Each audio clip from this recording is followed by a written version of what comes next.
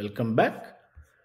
In the 5 9 concept, we were talking about the measures to improve availability. In that, the third one, third, uh, you know, the major concept we'll try to discuss the defense in depth. So, the first one is the defense in depth. We'll try to find the layered system. So, defense in depth will not provide an impenetrable cyber shield, but it will help an organization minimize the risk by keeping it one step ahead of cyber criminals. So, if there is only one defense in place to protect data and information, cyber criminals have only to get around that single defense. So to make sure data and information remains available, an organization must create different layers of protection. A layered approach provides the most comprehensive protection. If cyber criminals penetrate one layer, they still have to contend with several more layers, with each layer being more complicated than the previous one. So, layering is creating a barrier of multiple defense that coordinate together to prevent attacks. For example, an organization might store its top secret document on a server in a building surrounded by an electronic fence. So these are, you know, some uh, defense in depth that layering, limiting, diversity, obscurity, and simplicity. So we'll try to discuss this one, one, by, one by one, as said in the uh, layering one. The next one is uh, we'll see the in-depth process of the limiting. So what happens in the limiting one? so this limiting access to data and information reduces the possibility of a threat. An organization should restrict access so that users only have the level of access required to do their job. For example, the people in the marketing department do not need access to payroll records to perform their jobs. Technology based solutions such as using file permissions are one way to limit access. An organization should also implement procedural measures. A procedural uh, a, a procedure should be in place that prohibits an employee from removing sensitive documents from the premises. Whereas the third one is the diversity. So, in the di- diversity, if all of the protected layers were the same, it would not be very difficult for cyber criminals to conduct a successful attack. Therefore, the layers must be different. If cyber criminals penetrate one layer, the same technique will not work on all of the other layers. Breaching one layer of security does not compromise the whole system. An organization may use different encryption algorithms or authentication systems to protect data in different states.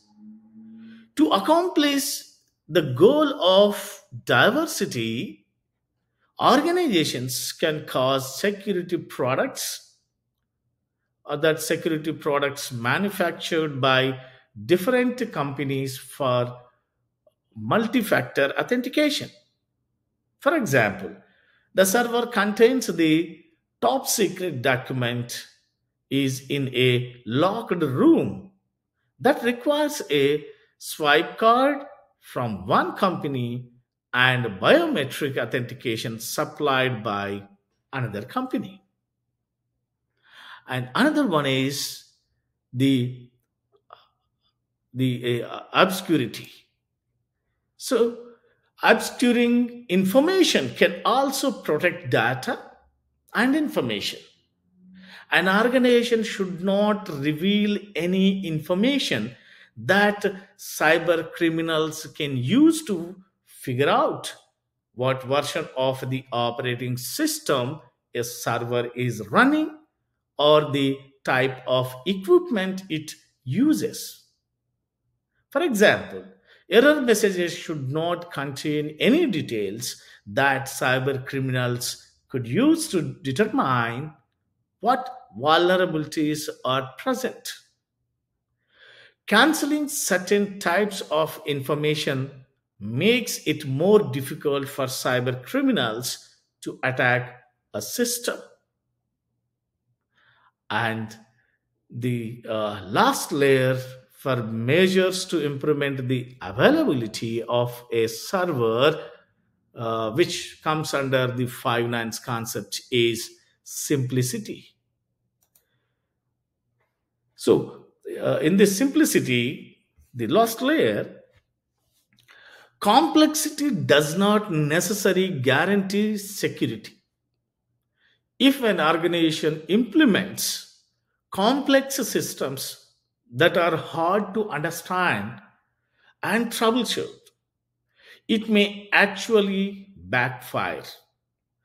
If employees do not understand how to configure a complex solution properly, it may make it just as easy for cyber criminals to compromise those systems.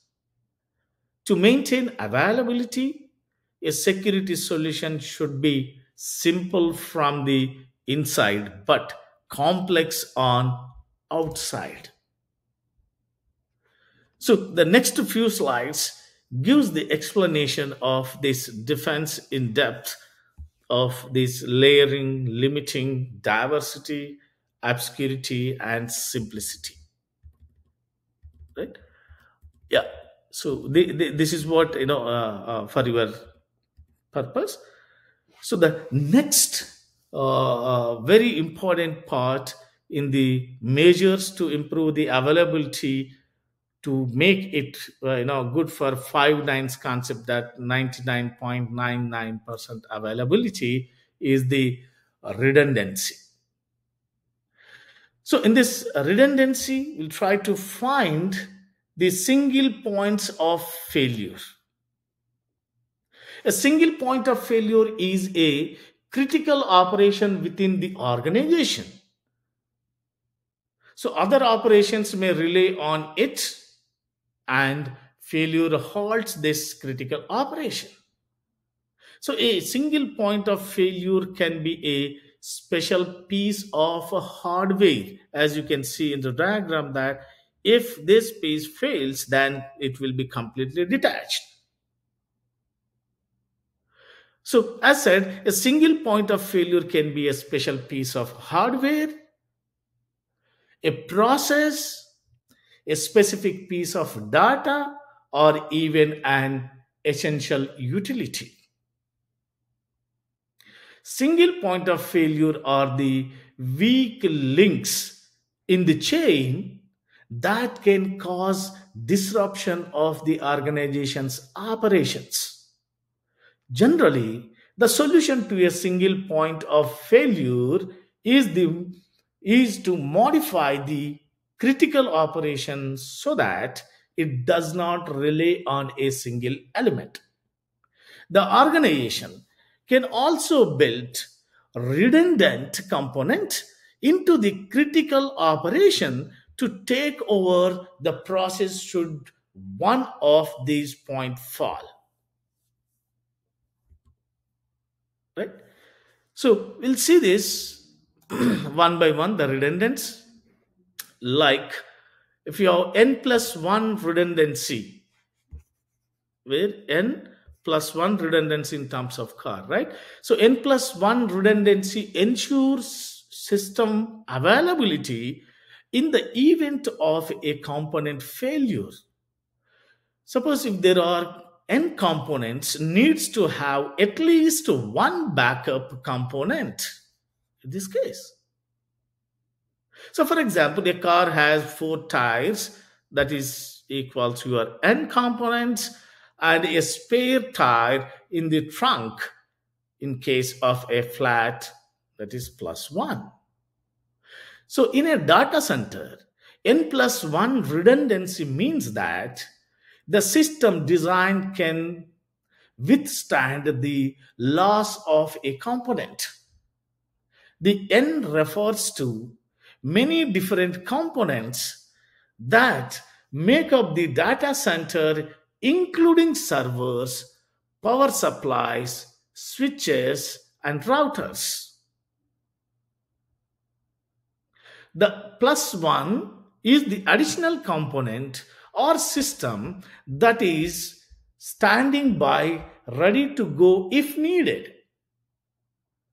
An example of n plus 1 redundancy in a data center is a power generator that comes online when something happens to the main power source, although an n plus 1 system contains redundant equipment.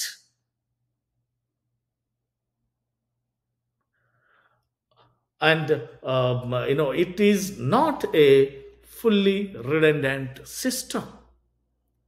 So this is one of the solution for the single point failure. So the another important one in this redundancy is RAID. A redundant array of independent disk RAID. So this combines multiple physical hard drives into a single logical unit to provide data redundancy and improve performance. RAID takes data that is normally stored on a single disk and spreads it out among several drives.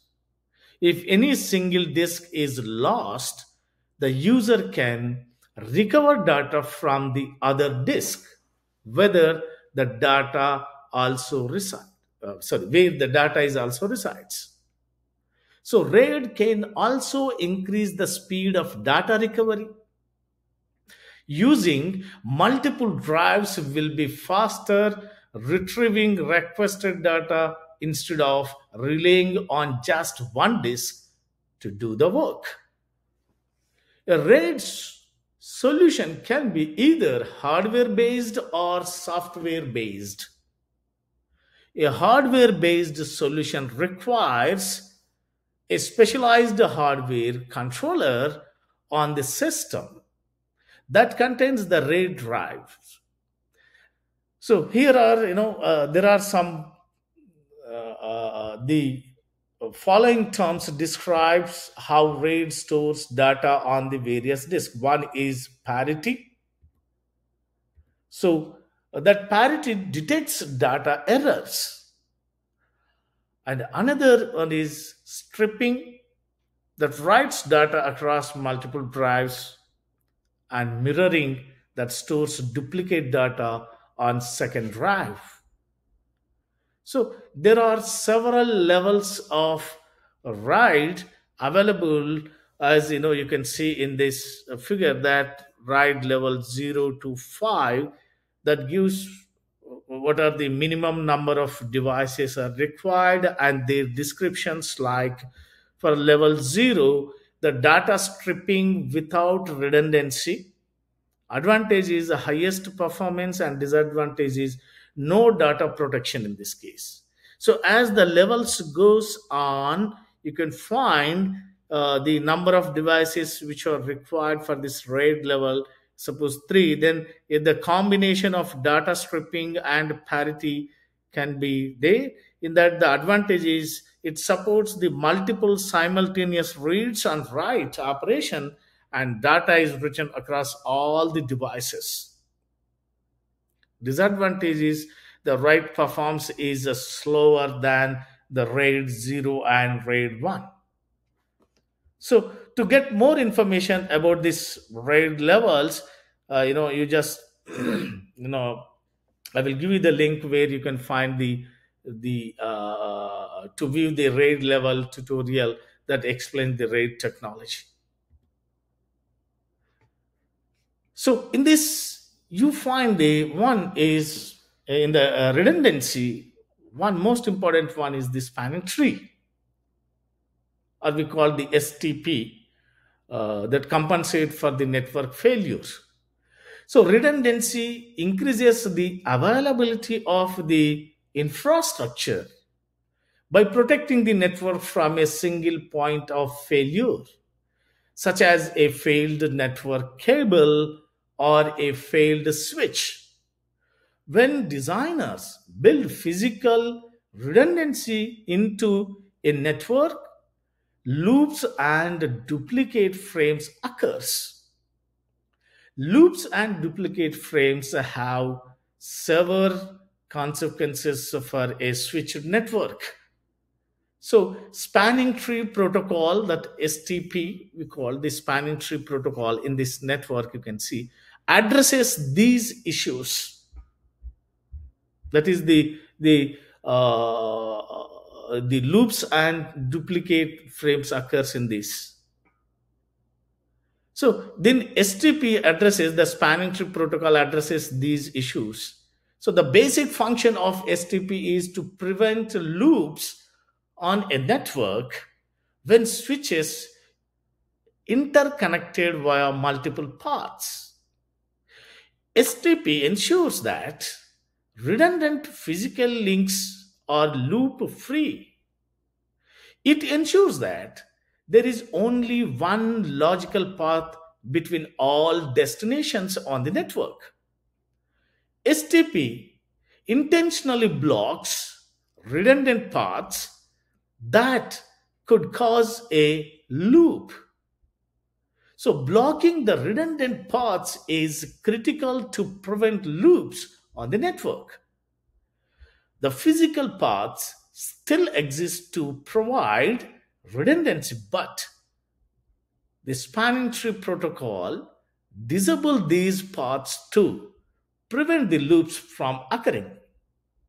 If a network cable or switch fails, STP recalculates the paths and unblocking the necessary ports to allow the redundant path to become active. So in this figure, you can see that suppose uh, the, here there are three switches. Switch 1 switch 2 switch 3 they are physically connected to each other. And then there is a loop here. If a pc sends data to a switch 2 it can forward that data or packet to all its outgoing ports. So in that case if they start sending those packets within this network that will leads to a loop and the duplicates. So let us see this with an example. Uh, next few slides which explain this. Okay. Suppose in this case in the figure 1 you can observe that pc1 sends a broadcast out onto the network so then it sends that message to switch 2 so the trunk link between switch 2 and switch 1, the trunk link 1 between switch 2 and switch 1 fails, resulting in disruption of the original path. Where switch 2 unblocks the previously blocked port for trunk 2. When it fails, then it unblocks this uh, you know path when this link is failed. So this switch to unblock the previously blocked port for trunk 2 and allows the broadcast traffic to uh, traverse the alternate path around to the network and permitting the communication that should continue to go on to the uh, you know uh, the destination. Suppose in this small network if you observe that pc1 wants to send a packet to pc4 and original path is from pc1 to switch 2 switch 2 to switch 1 switch 1 to your pc4 but if this redundant link is failed, that case switch to enables trunk 2 and the packet from PC1 it goes to switch 2 from switch 2 it enabled uh, you know switch to broadcast this uh, you know the message to all its outgoing outgoing port except the uh, received one so then they switch to forwards that message to PC2, PC3 as well as switch 3.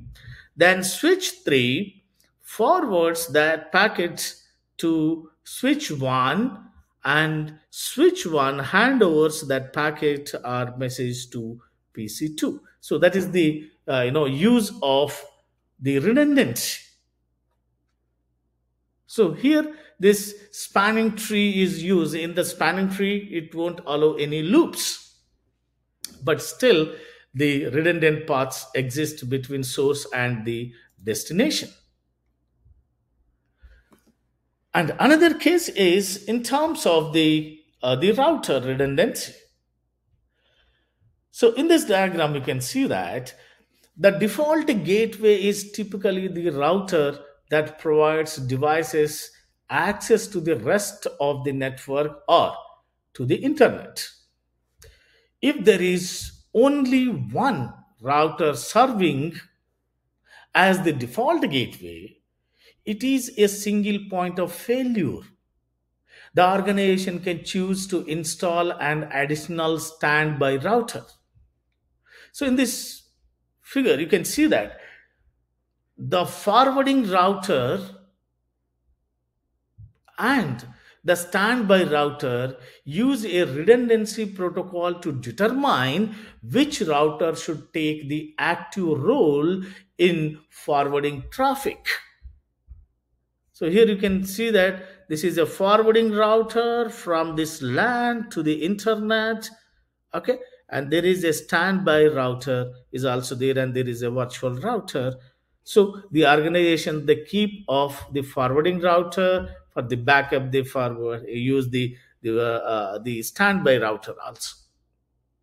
So each router is configured with a physical ip address that is 192.0.2.1 another one is 192.0.2.100 another one is 192.0.2.2 the second router so the forwarding router is listening for traffic addressing to 192.0.2.100. The forwarding router and the standby router use their physical IP addresses to send uh, uh, the periodic messages. The purpose of the messages is to make sure both are still online and available to the organization. If the standby router no longer receives these periodic messages from the forwarding router, the standby router will assume the forwarding role. As uh, you know, you can see in the next diagram, you can find that it assumes that there is a link failure here. So the new forwarding, the standby router become active and act as a new forwarding. So, the ability of a network to dynamically recover from the failure of a device acting as a default gateway is known as first hop redundancy. So these are the the uh, the redundancies in terms of switch and the router. So in this redundancy, the router redundancy options are there. We'll see those router redundancy. Yeah, this is what we just explained. So in the router redundancy options, the, the, the following list of is defined the options available for the router redundancy based on the protocol that defines communication between the networks. One is the, the hot uh, standby router protocol. Another one is virtual router redundancy protocol, which we just observed in the previous diagram. So in the hot standby router protocol, the HSRP provides a high network availability by providing first hop routing redundancy. A group of routers use HSRP for selecting an active device and a standby device. In a group of device interfaces, the active device is the device that routes packets. The standby device is the device that takes over when the active device fails. The function of the hot standby router protocol HSRP uh, that standby router is running to monitor the operational status of the HSRP group and to quickly assume packet forwarding responsibility if the active router fails. Whereas the second one, the virtual router redundancy protocol, that VRRP router runs the VRRP protocol in conjunction with one or more other routers which are attached to a local area network LAN. In a VRRP configuration, the elected router is the virtual router master and the other routers act as backups. So in case the virtual router master fails. And the third one is the router redundancy option. Third option is gateway load balancing protocol, GLBP. So GLBP protects data traffic from a failed router or circuit like HSRP and VRRP while also allowing load balancing, also called load sharing, between a group of redundant routers. So these are router redundancy options to avoid the single point of failure. And we can find the location redundancy also. Yeah this slide explains the one. The next one is the location redundancy so as you can see in the diagram an organization may need to consider location redundancy depending on its needs so these you know the, the following are uh, uh, you know the outlines uh, that three forms the location redundancy. One is synchronous, asynchronous replication, and the point in time replication. So, in a synchronous, the uh, location redundancy that synchronizes both locations in real time and this synchronous is requires the high bandwidth to you know synchronize the uh, uh, routers and different locations. And uh, the synchronize uh, the synchronous locations must be close together to reduce the latency whereas in asynchronous replication the location in the location redundancy that is not synchronized in real time but close to it and it requires less bandwidth and sites can be further apart because latency is less of an issue in this case. Whereas point in time replication, it is updated the backup data location periodically and most bandwidth uh, conservative because it does not require a constant connection. So the correct balance between cost and availability will determine the correct choice for an organization. So this is based on the location, uh, the redundancy that's, that comes under your measures to improve the availability, by using redundancy. Next, to measure to improve the availability using system resilience, the third principle. So that in system resilience, the resilience is the methods and configurations used to make a system or network tolerant of failure. For example, a network can have redundant links between switches running the spanning tree protocol stp so although stp does provide an alternate path through the network if a link fails the switch uh, over may be may not be immediate if the configuration is not optional or you know optimal and then the routing protocol also provides the resilience uh, but fine tuning can improve the switchover so that network users do not notice. Administrators should investigate non default settings in a test network to see if they can improve network recovery times. So, resilient design is more than just adding redundancy. So it is critical to understand the business needs of the organization and then incorporate redundancy to create a resilience network. So then, uh, uh, you know, it requires the uh, another one is the application resilience. Yeah. So in this application resilience, as you can see in the diagram. The application resilience is the application's ability to react to problems in one of its components while still functioning.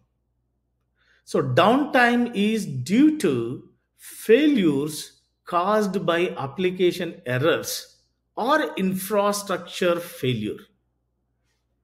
An administrator will eventually need to set down applications for patching and uh, you know the version updates or to deploy new features downtime can also be the result of data corruption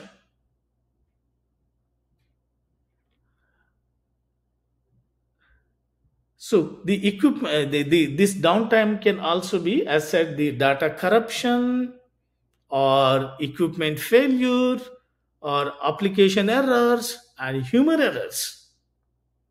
So many organizations try to balance out the cost of achieving the resilience of application infrastructure with the cost of losing customers or business due to an application failure. So application high availability is complex and costly. So in this figure, you can see that uh, it shows the three availability solutions to address application resiliences. One is the fault tolerant hardware. Another one is cluster architecture. Third one is the backup and restore. You can see that as it goes the, the complexity and cost increases from backup and restore to your fault tolerant hardware. So we'll see the first one, the fault tolerant hardware, a system that is designed by building multiple of all critical components into the same computer that is fault tolerant. Whereas clustering is a group of servers that act like a single system. If any one system goes down, automatically the another system will become active whereas backup and store as such that copying files or duplicating the files for on multiple servers so copying files for the purpose of being able to restore them if the data is occurs uh, data loss is occurs. So this is another solution for uh, you know for improving the uh, availability by improving the uh, you know the high redundancy in single point of failure in terms of uh, the the software that is the system resiliences. In redundancy we use the hardware uh, redundancy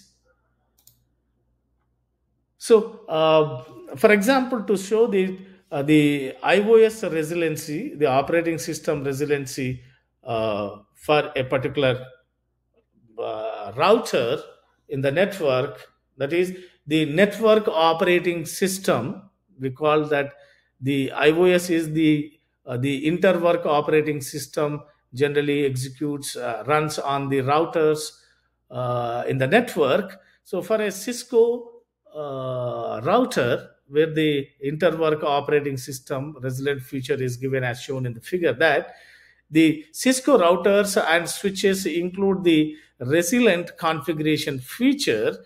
It allows for faster recovery if someone maliciously or unintentionally reformats flash memory or erases the startup configuration file. So, by giving that secure boot image here, so the future maintains a secure working copy of the router uh, interwork operating system image file and a copy of the running configuration file. The user cannot remove these secure files, also known as the primary boot set. So the commands as shown in this figure that secure this iOS image and running the configuration file. So by just running the secure boot image, so that will run this secure file, that image file, that resilience image, uh, resilience that become active. So this is the another system resilience to improve the uh, the availability of your systems. So then we'll we'll see the yeah. With this, I would like to you know stop the session. In the next session, we'll try to discuss the, uh, the what are the incident responses are there that we'll discuss in the next session. Thank you.